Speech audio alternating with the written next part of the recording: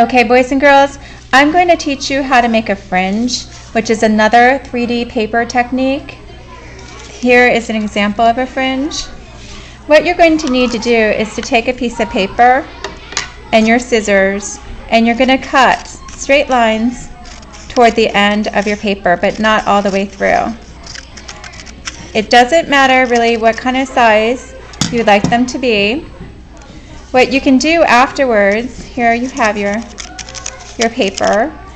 What you can do as a technique is to take your fringe and to roll it with a pencil to get a curl. So just take the piece of paper and roll it towards the end with a pencil. Just wrap the pencil with the paper. And there you have a curl. Now, in order to stick it to the base of your sculpture, you need to make a crease or a fold in which you'll put glue down on this fold and stick it up like this on your sculpture. Now another technique you can do with fringe is to make an accordion pleat.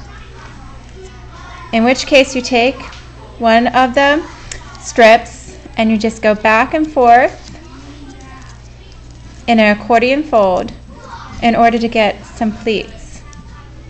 And then once again, in order to put, attach it to your sculpture, you want to make a crease and put glue on this side of your paper to have your fringe point upward. So that is how you can, uh, you can make your 3D paper sculpture fringing.